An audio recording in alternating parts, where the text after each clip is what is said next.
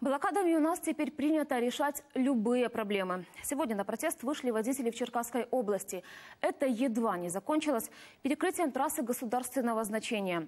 Что довело людей до автоблокады, выясняли наши корреспонденты.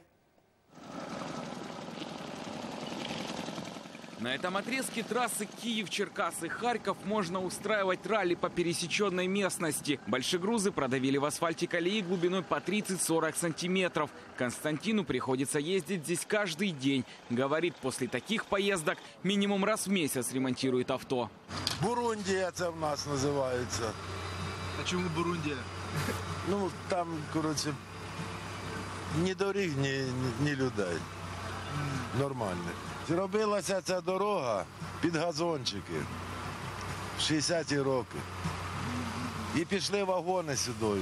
Трасса проходит через райцентр Драбов. Сегодня с утра тут ажиотаж. Местные активисты и грузоперевозчики собрались на акцию протеста. Готовятся перекрывать дорогу перегруженным фурам. Обща вага цієї машини 80 тонн. Загальна вага. Ну, в машині знаходилося 58 тонн насіння.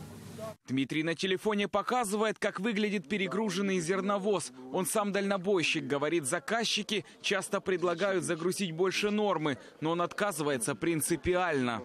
Перш за шляхи. Друге, це переводить транспортні засоби. Ну а третє це безпека руху.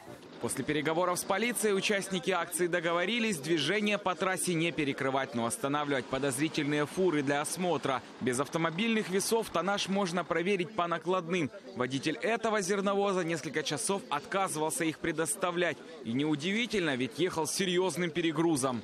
Згідно накладної загальна вага 54 тонни. 54? Це скільки перегруз у нього? 14 тонн 560 кілограм. Перегруз. У Сергея Ткаченко тоже перегруз. 5 тонн. Прямо на месте ему выписали квитанцию на оплату штрафа в сотню евро. Водитель публично кается, дескать, осознает, что перегруженные машины добивают дороги. По контракту 5 тонн лишніх треба було взяти. Свише 40. Я сам їду, моя душа болить.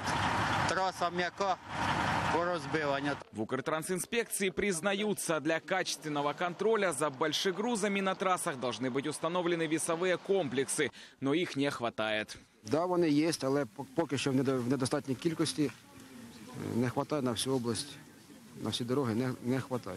Активисты пообещали останутся дежурить с инспекторами до тех пор, пока на этой трассе не установят весы. А если водители грузовиков будут уклоняться от проверок, готовы в любой момент перекрыть движение. Олег Решетняк, Станислав Кухарчук, Павел Тимошенко. Подробности телеканал Интер, Черкасская область.